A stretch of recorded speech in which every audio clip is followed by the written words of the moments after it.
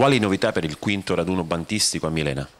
Il raduno bandistico quest'anno a Milena ha delle belle novità.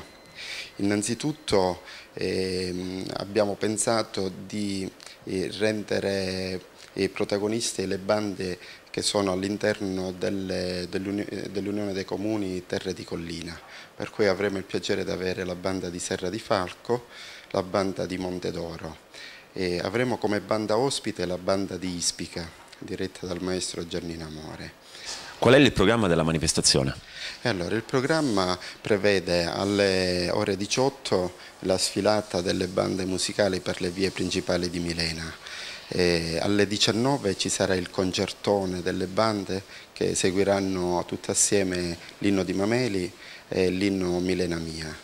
E alle 21 eh, il concerto delle bande su palco su, in piazza Garibaldi.